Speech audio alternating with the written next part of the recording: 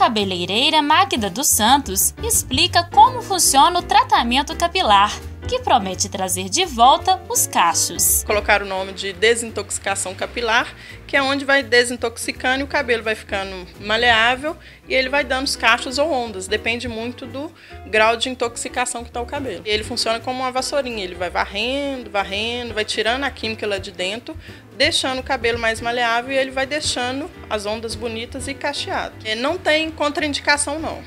Então, assim, é, o que eu friso bem é sempre fazer teste. Tudo enquanto é química para gestante tem um, uma contraindicação, né? Mas se, se for o caso, a gente faz um teste, né? Mediante a, a liberação do médico e tudo, a gente faz sim, mas contraindicação não tem. Durante 10 anos, a Márcia foi refém da escova progressiva.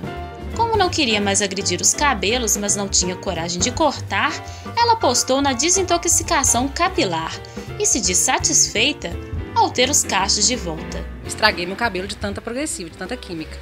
Aí eu só ficava com ele de rabo de cavalo e de coque. E de seis meses para cá ela conseguiu cachear minha raiz de novo, coisa que eu achei milagre, porque eu achava que nunca mais ia conseguir recuperar ele. E dentro de seis meses para cá eu já voltei com meu cabelo cacheado, praticamente todo. Desde adolescente, a Ingrid sofria ao cuidar dos cabelos cacheados. Há seis meses, ela decidiu abandonar de vez a escova progressiva a alternativa encontrada por ela foi a desintoxicação.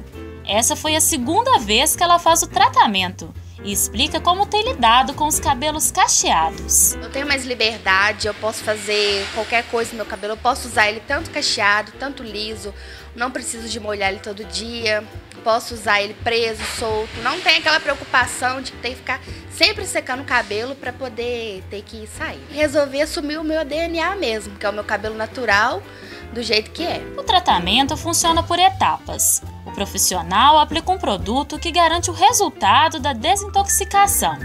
Em seguida, enrola os fios com um bigodinho.